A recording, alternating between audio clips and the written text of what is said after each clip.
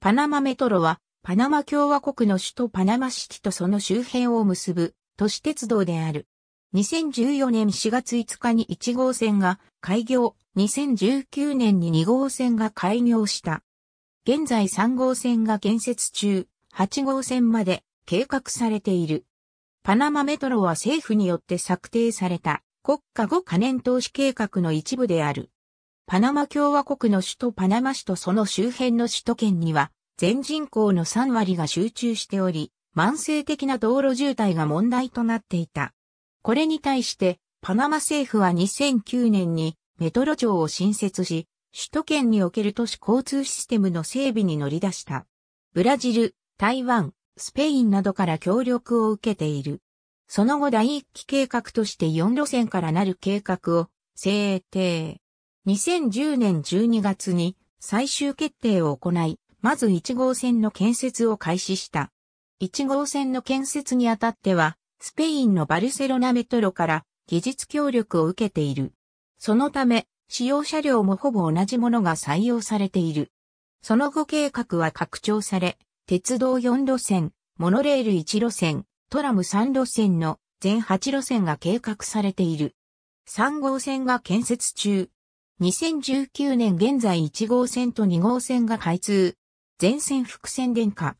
パナマ市アルブローク駅から地下に潜り、一旦南下した後中心街を南北に縦断、さらに北に向かい得るインヘニオ駅までは地下区間。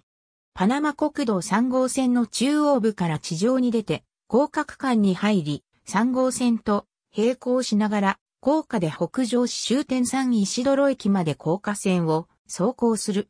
総延長は 15.8km、駅数は14駅。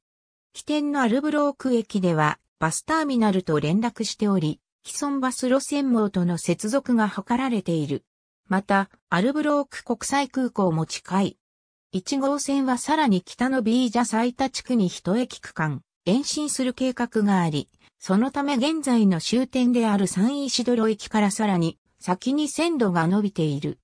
開通初年の2014年度だけで200万人の利用者数を記録した。これは想定していた人数よりも25%多かった。この需要に対応するため車両の心臓、増結を計画中である。車両基地はアルブローク駅の北側地平部分に存在する。建設はスペインの建設大手 FCC 社が担当した。建設費は14.52億米ドル。年表運行年中無休で月土曜は5時から22時、日曜日は7時から22時まで運行されている。ピーク時には3分置き、換算時でも4分半置きの高頻度運転を行っている。すべて各駅停車で優等列車はない。車両アルストム社製、アルストムメトロポリスシリーズの9000型電車の3両編成が20編成、1編成あたりの定員は600人。終電は直上化線方式。期間は標準機で最高速度 80km。3両編成で全長52メートル、幅2.71メートル、高さ3.85メートル。現在の車両は3両編成のみだが、各駅の有効庁は5両まで対応している。2017年からは5両編成の心臓尾編成、及び3両編成から5両編成に増結するための追加生産車が配備される予定。5両編成になった場合の編成定員は1000人。2014年5月、3つのコンソーシアムから複数のメトロ2号線建設案が提出された。比較検討の結果、バルセロナメトロなどの案が採用され、2015年9月から建設が開始された。総建設費は22億ドルとされる。第1期工事区間では1号線のサンミゲリート駅から特面国際空港付近を経由し、ヌエボ特面地区までの約 21km に16駅が設置されている。工事は1号線と同様に FCC とブラジルによって行われる。2期工事でサンミゲリートから逆側に延伸、1号線の西側を並行するように南下して、途中交差したのチプンタパシフィカ地区に至る。さらにヌエボ特面から東に延伸する第3期工事をもって完了する予定。2015年9月に建設が開始。一期区間の開業予定は当初2019年4月であったが、パナマ市で2019年世界カトリックユースサミットが開催されたため、2019年1月に部分開業して人員輸送を行った。そして4月に予定通り正式開業した。第1期開業区間は全線複線高架でヌエボ特面駅から南東に引き込み線が伸び、その先の地平に車庫が設けられる。この車庫は留置機能と軽メンテナンス用の研修施設が設けられるが10、整備用の施設はない。そのため、重整備の時にはサンミゲリート駅に併設された1号線との連絡線を使って1号線のアルブローク、車両基地まで改装される。計画中の路線の中では唯一パナマ運河の東西を連絡する路線。パナマ運河を横断しなければならずさらにその先の地域の高低差も厳しいため、通常の鉄道ではなく、勾配に強いモノレール方式を採用した。全線複線。